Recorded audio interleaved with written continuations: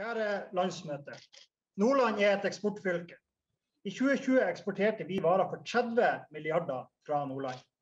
Vi her oppe, som Erna kaller oss, har et variert, innovativt og tilpasningsdyktig næringsliv i vekst. Det er en forutsetning for Norge at vi legger til rette for eksporten vår. For de som har fulgt med i debatten og utviklinga i Nordland, så har vi stått i en stor omstilling.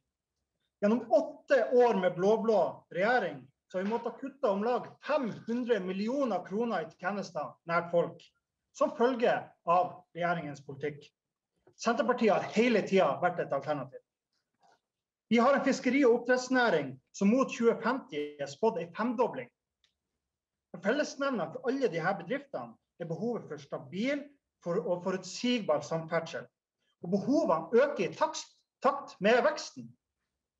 Når Lobbuen eller Sørenøy bygger nye lakseslakteri, når det dukker opp tarebedrift på Indre Kvarøy, eller for å utnytte Lofot- og Vesterålsfisket, så må samferdselen være i tråd med næringslivets behov. Det slaktes ikke en eneste laks eller hvitfisk langs E6, og det er konkurransevridende. Gjennom åtte år har Senterpartiet levert forslag til budsjett og forslag i Stortinget for å motvirke dette enorme paradokset. Dessverre har ikke de andre partiene stemt med oss. Norge er avhengig av oss for å sikre vekst, spesielt ut av korona.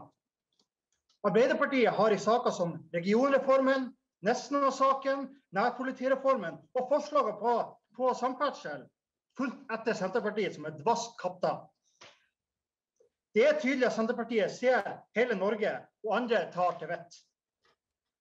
En finner ikke noe før en kommer der det er, sa Ivar Aasen. Senterpartiet er der det skjer, og Trygve du har Nordlands støtte som Norges neste statsminister.